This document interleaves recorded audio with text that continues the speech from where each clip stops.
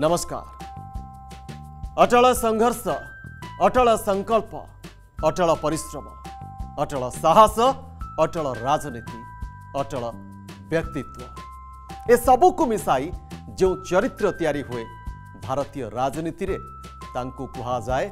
अटल बिहारी वाजपेयी से ही अटल जे भारतीय राजनीति में परिवर्तित धारार साक्षी थे से ही अटल जहां व्यक्तित्वर प्रशंसक ନା କେବଳ ତାଙ୍କର ସହଯୋଗୀ ତାଙ୍କର ବିରୋଧୀ ମଧ୍ୟ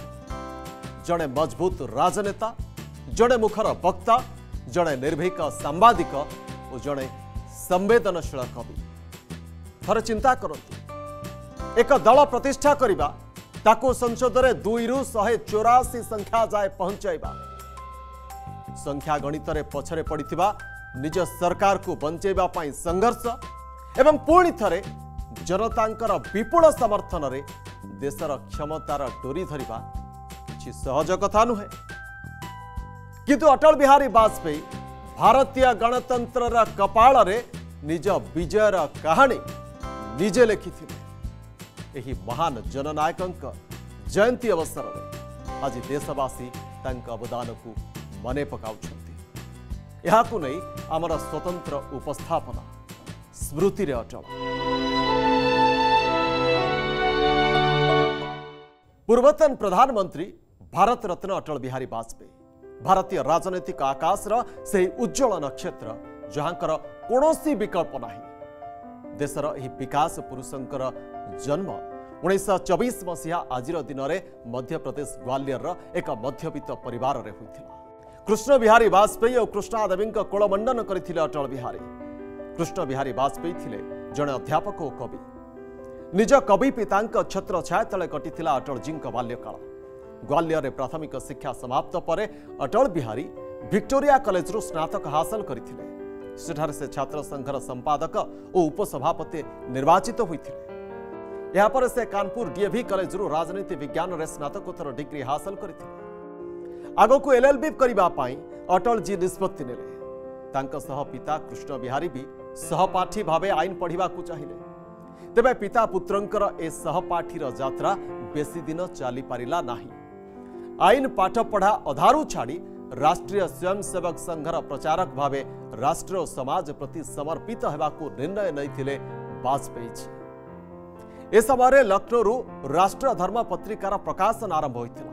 ଆଉ ତାର ପ୍ରଥମ ସମ୍ପାଦକ ଭାବେ ଦାୟିତ୍ୱ ନେଇ ଅଟଳଜୀ ପତ୍ରିକାକୁ ଲୋକପ୍ରିୟ କରାଇଥିଲେ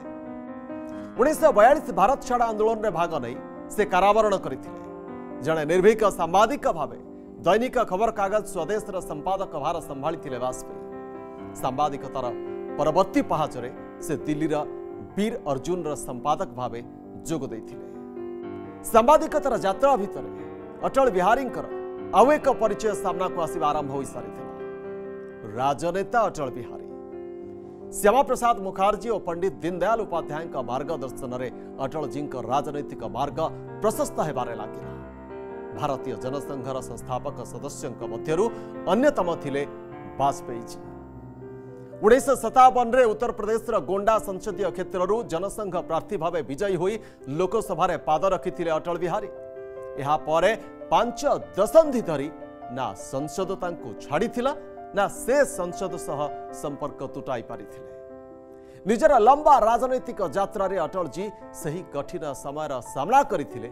ଯେତେବେଳେ ଜରୁରୀକାଳୀନ ପରିସ୍ଥିତି ସମୟରେ ସମସ୍ତ ବିରୋଧୀ ପକ୍ଷଙ୍କୁ ଜେଲ୍ ପଠାଇ ଦିଆଗଲା ଇମର୍ଜେନ୍ସି ପରେ ଲୋକନାୟକ ଜୟପ୍ରକାଶ ନାରାୟଣଙ୍କ ନେତୃତ୍ୱରେ ଜନତା ପାର୍ଟିର ଗଠନ ହେଲା ସେଥିରେ ଭାରତୀୟ ଜନସଂଘର ବିଲୟ ହୋଇଥିଲା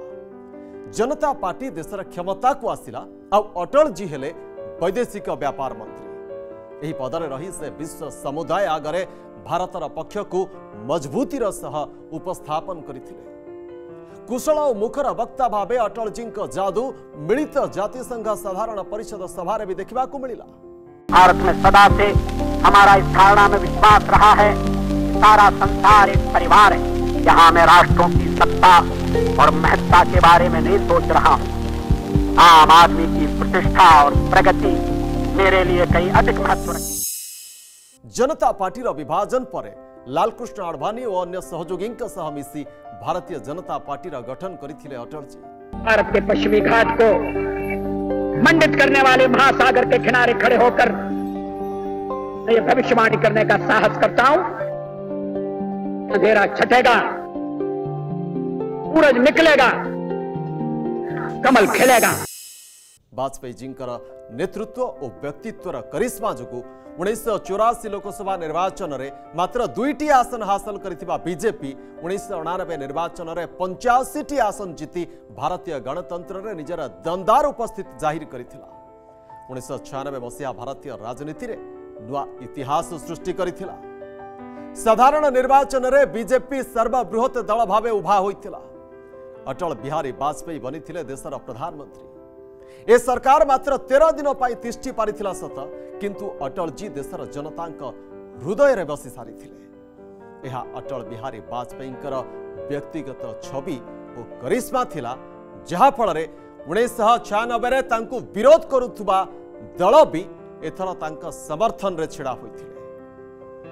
ଅଟଳଜୀଙ୍କ ନେତୃତ୍ୱରେ ବିଜେପି ପୁଣି ଥରେ କେନ୍ଦ୍ରରେ କ୍ଷମତାକୁ ଫେରିଲା ତେବେ ଏଥର ବି સરકાર માત્ર તેર માસ ହିଁ ଚାଲିପାରିଥିଲା ଉଣେଇଶହ ଅନେଶ୍ୱତରେ ପୁଣି ପ୍ରଧାନମନ୍ତ୍ରୀ ଭାର ସମ୍ଭାଳିଲେ ଅଟଳ ବିହାରୀ ଆଉ ପ୍ରଥମ ଥର ପାଇଁ ଅଣ କଂଗ୍ରେସ ପ୍ରଧାନମନ୍ତ୍ରୀ ଭାବେ ପୂର୍ଣ୍ଣ କାର୍ଯ୍ୟକାଳ ପୂରଣ କଲେ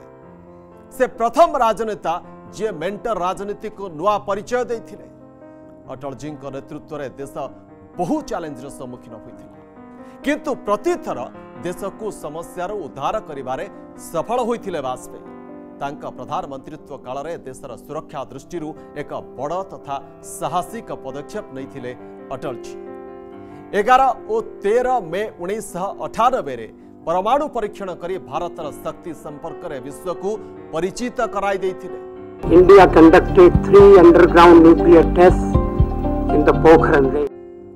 विश्व समुदाय आगे नुआ और मजबूत भारत उदय होता କୋଡ଼ିଏ ଫେବୃଆରୀ ଉଣେଇଶହ ଅନେଶ୍ୱତରେ ଲାହୋର ଓ ନୂଆଦିଲ୍ଲୀ ମଧ୍ୟରେ ସିଧା ବସ୍ ସେବାର ଶୁଭାରମ୍ଭ କରିଥିଲେ ବାଜପେୟୀ ଆଉ ନିଜେ ଭାଇଚାରାର ସନ୍ଦେଶ ନେଇ ଲାହୋର ଯାଇଥିଲେ କିନ୍ତୁ ପାକିସ୍ତାନ ସବୁଥର ଭଳି ଭାରତର ଏହି ଭାଇଚାରାର ସନ୍ଦେଶକୁ ହଜମ କରିପାରିଲା ନାହିଁ ଏପଟେ ଅଟଳଜୀ ବନ୍ଧୁତ୍ୱର ମୂଳଦୁଆ ରଖିବାକୁ ଉଦ୍ୟମ କରୁଥିଲେ ଆଉ ସେପଟେ ପାକିସ୍ତାନ ଗୁପ୍ତ ଭାବରେ କାର୍ଗିଲ ଯୁଦ୍ଧ ପାଇଁ ପ୍ରସ୍ତୁତି ଚଳାଇଥିଲା କିନ୍ତୁ ଯେମିତି ଭାରତକୁ ଏ ସମ୍ପର୍କରେ ଗନ୍ଧ ମିଳିଲା ଅଟଳଜୀଙ୍କ କୁଶଳ ନେତୃତ୍ୱରେ ଆମ ବୀର ତଥା ସାହସୀ ସେନା ପାକିସ୍ତାନକୁ ତାର ଔକାତ ଦେଖାଇ ଦେଇଥିଲା କାରଗିଲରେ ଉଡ଼ିଲା ଭାରତର ବିଜୟ ପତାକା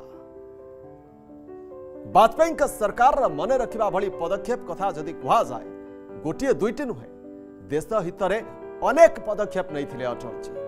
ତାଙ୍କୁ ଲୋକେ ଚିରକାଳ ମନେ ରଖିବେ ଦେଶରେ ସଡ଼କ କ୍ରାନ୍ତିର ଜନକ ଭାବରେ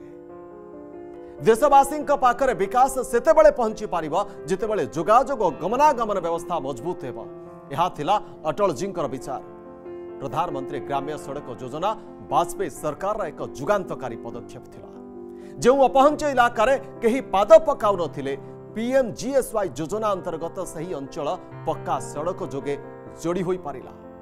ସେହିପରି ପ୍ରଧାନମନ୍ତ୍ରୀ ସ୍ୱର୍ଣ୍ଣ ଚତୁର୍ଭୁଜ ଯୋଜନା ମାଧ୍ୟମରେ ଜାତୀୟ ରାଜପଥର ବ୍ୟାପକ ବିସ୍ତାର କରାଯାଇଥିଲା ଅଟଳଜୀଙ୍କ ସରକାର ଅମଳରେ